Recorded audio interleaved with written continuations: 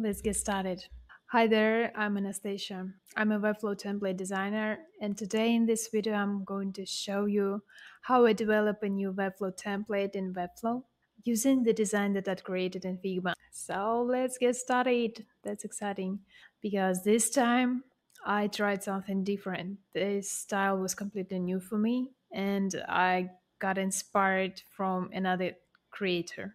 So I developed an event website template where I have a homepage that features the upcoming festivals. You can see this nice two column layout green, pretty minimalistic and very colorful, which is new for me, honestly, because I mostly work in minimalist style with basic colors, light and dark themes. This one is my first colorful Webflow, template.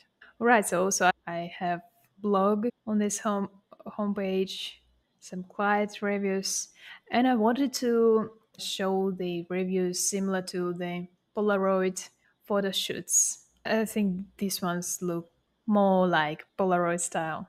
And here I have sponsors cards. On hover, I want them to show the background image with some logo in the center. I'm going to use just a logo placeholder for these cards for the reason that the people who purchase this template will replace them anyway. Let's simplify things, right? At the bottom of the homepage, I have newsletter subscription plus social media buttons. So I used icons 8 free icons for this template, and those are doodle style icons that are free to use. So if you want to use them, go ahead. All right. Also, I've got a festival page with post I designed just for this template. This one is supposed to be background video. Arty on hover, I want background image appear and I want to create a nice smooth animation that will react on my mouse movement. So that means that this image is going to move like this, probably rotate a little bit. I'll figure it out. Again, sponsors block and go to action block which looks like a kitty. Are you okay? Oh no, my cat wants to get out of this room. Should I allow it? Marilyn. Want to get out? Okay. The cat didn't want to listen to my work stuff. That's boring for her. I love my job. Okay, so and this blog is a call to action that looks like a ticket page and footer. Honestly, I haven't worked much on the footer yet. This one is just spare call to action design in case I need it. And another page that I have done is the artist page. So I haven't done the blog page and get ticket pages. Get ticket is supposed to be a third party plugin. So this this would be an external link that leads you to some third party website where you can purchase a ticket. And blog is going to be pretty similar to this. I'm going to reuse it in development. Okay, let's get started. Pretty exciting. Where do I begin? Normally, I begin with creating a blank template, blank canvas in Webflow, and I start with creating the navigation bar. Let's start with the navigation bar. Right, so here we are. Let's get started with the navigation bar design. Let's call it nav bar with 100%. And what else? What else do we have here? Container. I like doing it like this. Why why three? Okay, it seems like I, I have some styles. Oh, I need to remove those. Okay, now I can rename it. Okay, so here we have container, brand logo, nav menu. Okay, so now that I've created a project in Webflow, let's go to site settings and upload font that we're going to use. So we are going to use a Google font, which is Ram. Where is it? Ram Ram Ram Ram. Not Rubik. Rum Raisin. Right. Add font. Okay. Is, is there another font that I'm going to use? Yes. DM Mono. Let's go back. Choose M Mono. Perfect. I'm going to add medium weight as well. Okay. We've done that. Let's go back to the designer. And I'm going to choose the, the where is the font that we just it? Oh, here it is. Rum Raisin. Perfect. Size 16 pixels. Blind height would be 1.5 dash. And color, the primary color, let's let it be black. Just the black color. Okay, now we're going to nav menu design. Okay, what else I'm going to do here? I'm going to I'm going to start with the logo. Right, so here's our logo file. I want to minimize it just a little bit. The frames. By the way, I took this logo from Icons 8 free library and I can download it in SVG format, which is awesome. Let's rename it Frenzy logo. Frenzy is the name of this template to be. Okay, let's export it. Downloads. Let's go to the desk. Perfect. I'm downloading only this part of the logo because I want this one to be the text, which is going to change color for different pages. Okay, let's go. So for this one, I think I just body orange and also I will create a swatch orange. Perfect. Because it will allow me to reuse it. And if I want to change this color, me or the person who uses this template later, he will be able just to click edit and edit the swatch and it will be updated on any element that uses this swatch color. Yep, I love using swatches. Okay, and now let's upload our logo file. Choose an image, frenzy logo. Cool. Brand logo. Okay, let's set maximum width to 120 pixels. And for the brand, I set padding to be zero right away because for some reason it will add the padding of 10 later. I, I don't need it, so I prefer to set it up manually straight away. And let's add text block. Okay, now we need to add this one and the next, next to logo. You may notice that I use very simple classes. It's so because I want users who purchase this template to be able to understand what this class is related to so that they could easily change or update it later. Okay, and here I want to use 32 pixels. Looks good. Okay, and now let's let's style and work on the nav links. So here I'm using Rubik font. I think I should use the mono here instead. It's just that's just me. I, I forgot to update it. DM medium. That's better. So okay, let's style the nav link. Okay, and now we are using this class. By the way, I just realized that it's better to to use the DM mono for all the texts on the websites and to use this grammar raising font for all the headings and the accent elements. That would be more correct because this font is more readable than this one. This one is readable as well, but for the body text, I think we should go with this one. Okay, so we've got festivals. Let's start with capital letters. Blog and what else? Sponsors. Okay, and in design, I have them all capital. Let's reuse it. A menu and menu button, which appears right here.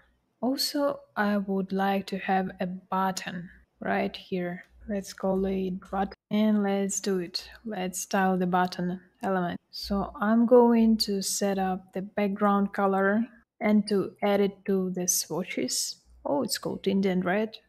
Beautiful name. So we've got 40 and 30 padding. Padding is 40. Oh my god. I think something's not right about it. Look, this button is huge. Oh, here's what happened. So I designed it for big screens. That's not a problem. It's the first time, the first time I do it. We just just adjust everything. That's totally fine. Okay, I think now it looks good. Get ticket. It should be all capital. And I want them to have black background. Let's add black to the swatches as well. Why not? Mm-hmm. Black. Okay, good. So now what I want to do is I'll set the background color for the navbar to orange. And actually, I'm going to update the color to no, I'm not going to do it because you can see we failed to set up a good contrast ratio and I tend to follow those recommendations. So I'm going to back up. With black one is perfect. It's like two points. That's exactly what we need for a great Webflow template. What I'm going to do next is I'm going to create a wrap. wrap. So the wrapper will wrap the navbar contents and it will be easier for me to work with it. So I'm going to make it flex justify, align center, and I'm going to add a bit paddings like 12 pixels like this. Okay, and now nav link, let's adjust nav links with 12, 20. I prefer to set it up manually. Get ticket. I can see that it needs a bit bigger stroke. Okay, and I want to give it some letter spacing for more readability. Looks good. And now let's take a look. So you can see the nav links, they're close to the logo, not the button. Let's work on it. So with navmin, I'm going to set it to grow if possible. And uh, to the button, I'm going to give it a combo class in navbar. And I'm going to set the left margin to auto. It didn't work because I didn't set the nav menu layout to flex, right? Still, it didn't work because I've got here, mm, let's set margin, margins to zero manually. Okay, and now let's add some margin or padding. I think margin would work better in this case. Exactly like this. What do you think? Mm-hmm. Thanks. I just increased the logo size, the text in the logo size just for me because I just felt like it. Okay, and we are going to set container width. Let's add it first to 920 and add some paddings like 40 or 20 pixels because I want our website to be really big and look really great on the large screens. Okay, so what are we going to do next is stop touching my face. Next, we're going to develop the main screen It's going to be awesome. So what I want here is I want the pictures moving on scroll, but the text to stay sticky to the top. I think I don't want the navbar to be sticky or fixed. I just want users to be able to scroll past it. Okay, so let's go and create a section with 100%. Give it a container with the existing class Perfect. And let's add buttons to this section. Let's give it 100 this time. Normally I would go for everything that divides by 4 pixels. Something like 80 pixels or 64. I just got used to this game, but I'm trying something new here, okay? So there's going to be something different and I'm going to work different this time. Okay, and now I'm going to create a div block inside of the container inside of the container and I'm going to give it a class. Homepage, hero, wrap. Let's layout it to vertical, flex, vertical, centered with height. Let's start with 100 and let's make it sticky to the very top. Yes, like this. Okay, we'll get back to it a bit later. Now I'm going to add a background shape. Why background shape? Why did I start with it? Just because I felt like it. That's it. Set it to absolute. Okay, and now I'm going to export this background shape. Let's color it. Let's, I'm going to just export it as star one. Why didn't I export it from here? Because it would crop those elements that are not visible. You can preview it and see this, or you may not but I think I can see that there are some parts that are cropped. Just in case, I would suggest doing it like this. Okay, let's upload this file. Perfect. Background shape is done. We are going to define its width with percentages. let's say maximum 85%.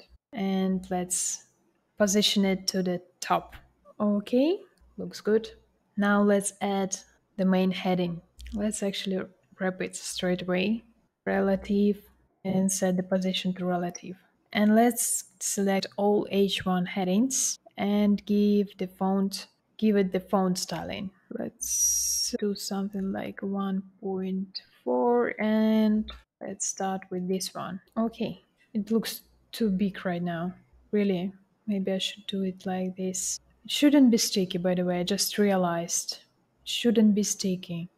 Let's start with transparent. We'll figure it out a bit later. Okay, unforgettable open air music festivals.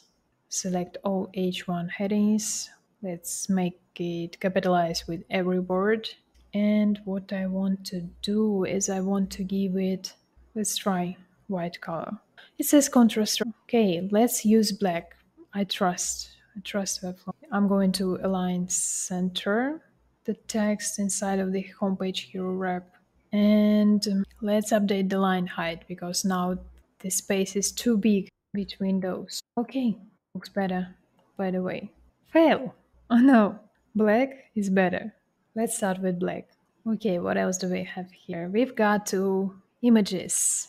Let's copy them, reset the rotation settings. Let's call it hero image 1 and this one would be hero image 2. Let's export them in format and to X export. Save. Great. So this one should be sticky.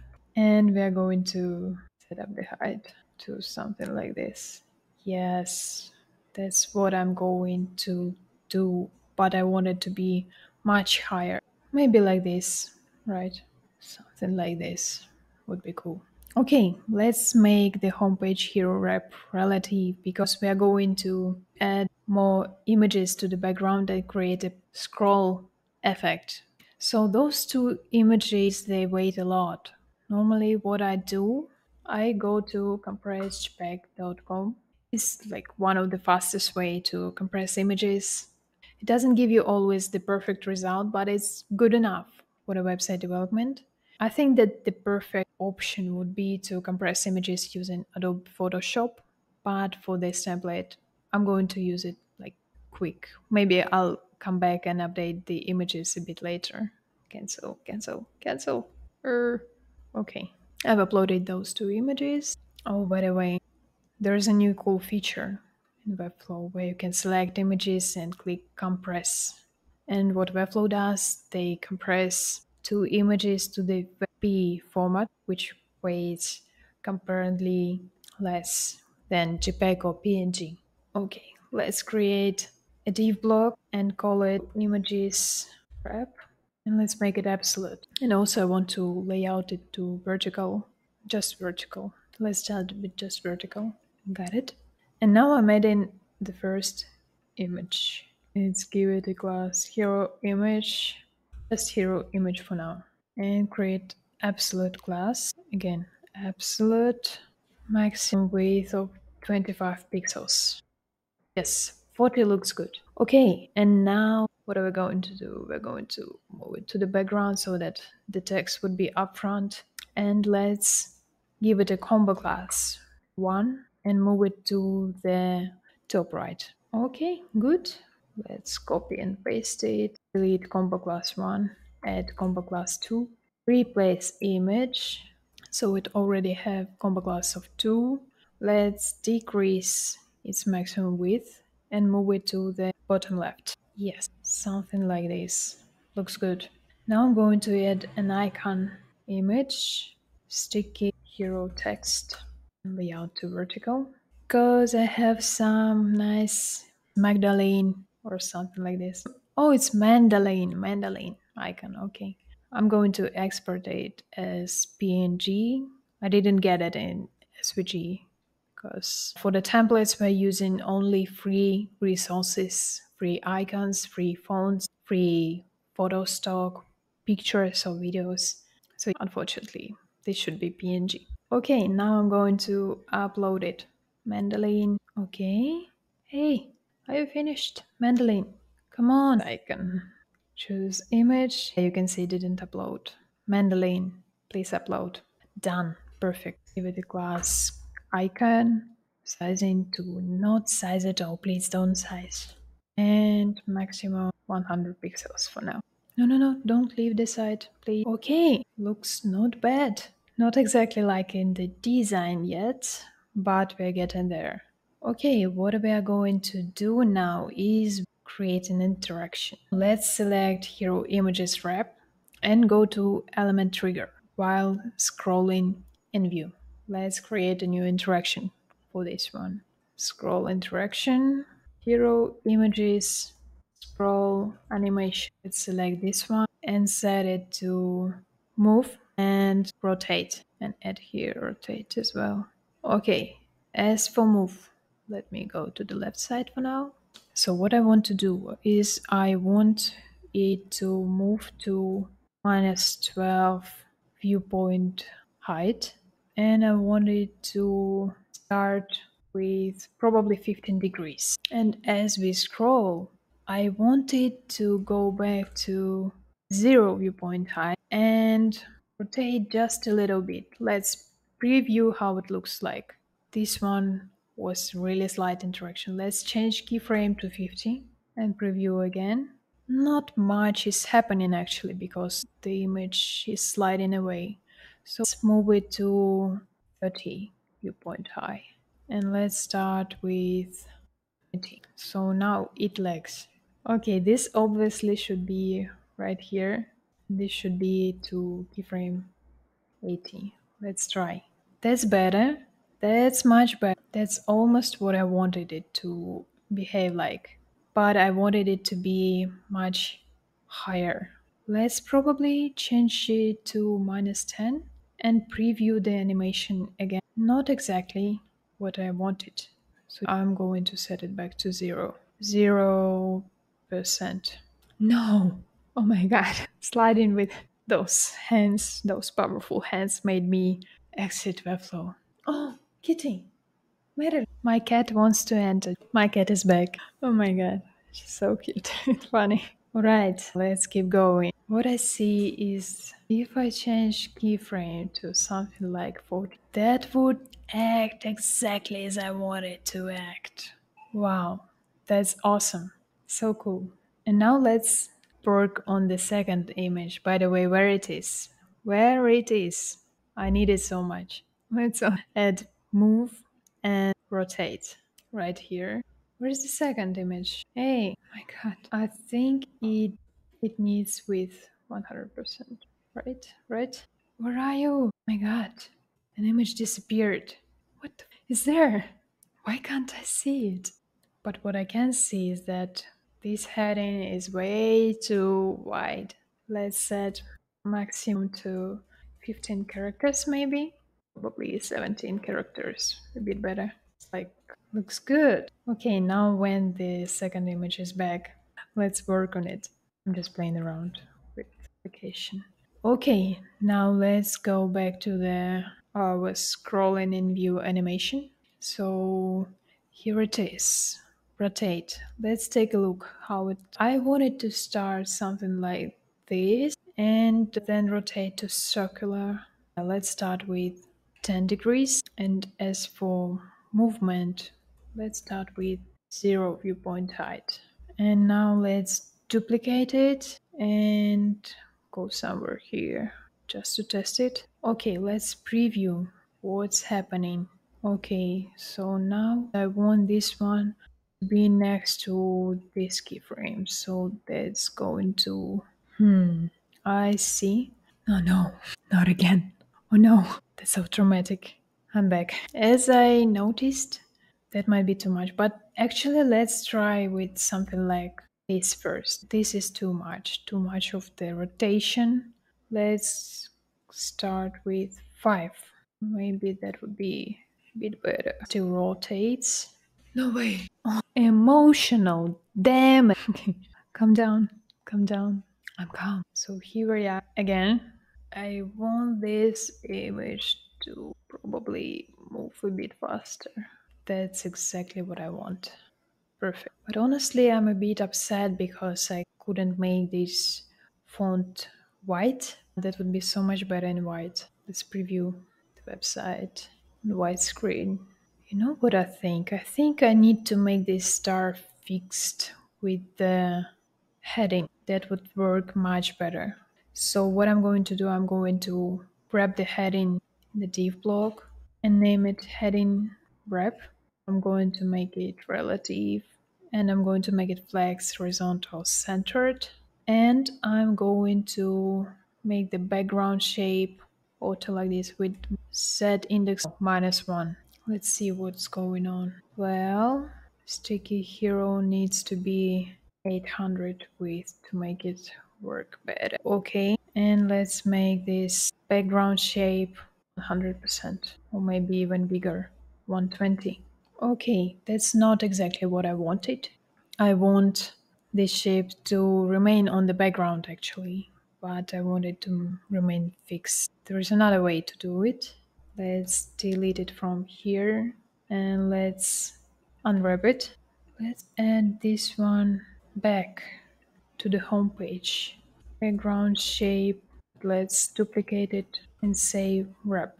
Width is defined width and set it to sticky. I see what's going on.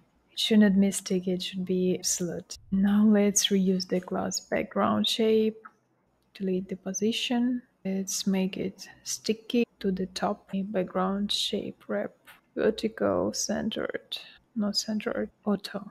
Let's use height 100% and let's start with alignment order.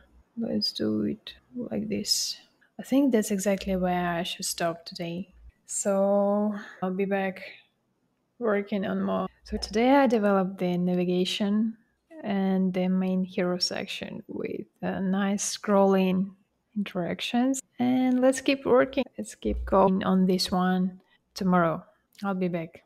Bye bye